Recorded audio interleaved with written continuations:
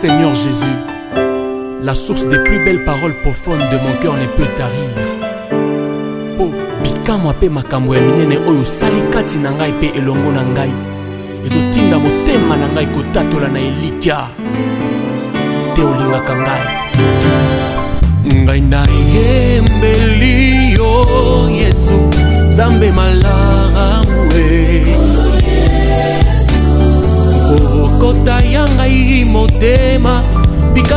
sengo ekoma ya ngai na kati ya motema na ngai kaka yo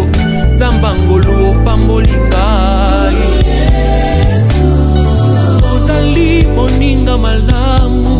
kozanga yo pasi ngai na sambwe mosika na yo bomoi ezali te o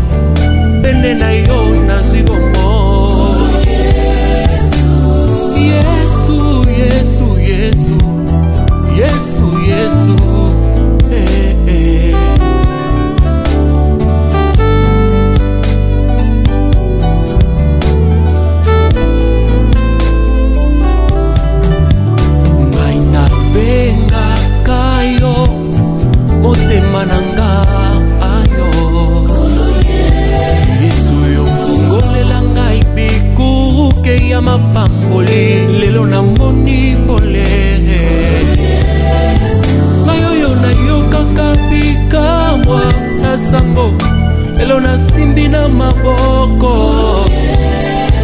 tala basusu bazali kobela baza na opitale ezue eh, eh. basusu bazangi misala mabota baza kozela yo yesue eh, baoyo bazoluka mabala baza kozela yo mimonisa biso yo mokili toleli na losambo toza koluka yo yesu e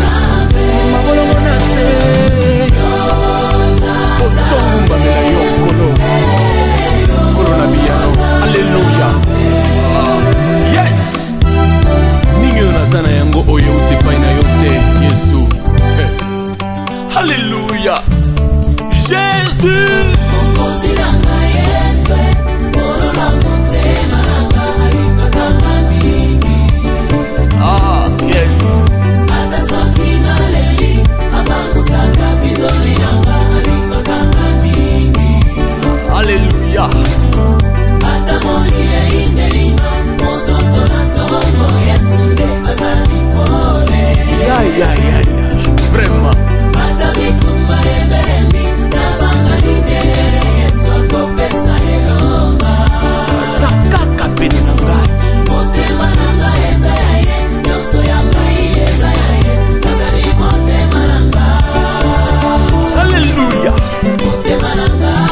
koyemba motema libonza motuya na ngai yesu kolongola botutu na ngai nakoma mosantu na yo kobongola makanisi na nga nakoma wa yo yesu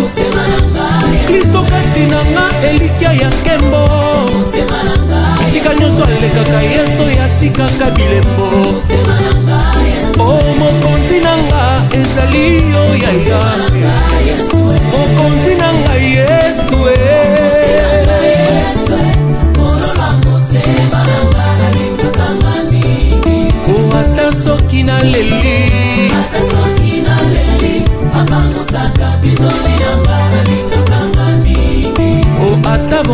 lindo, lindo.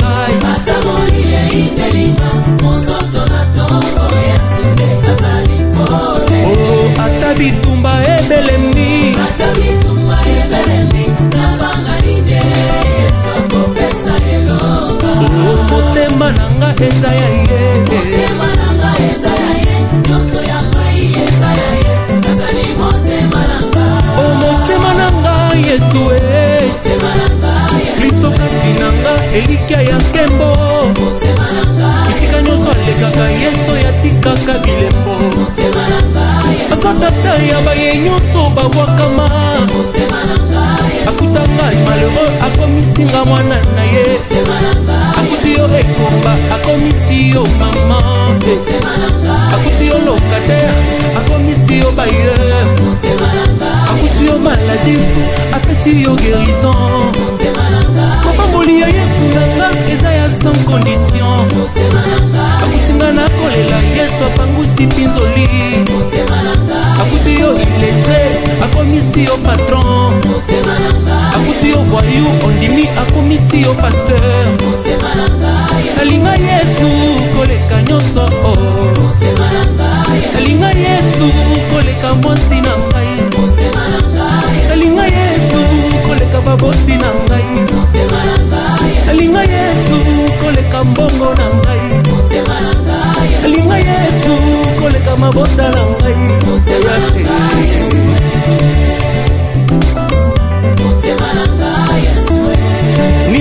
kabula bolingo nga na yesu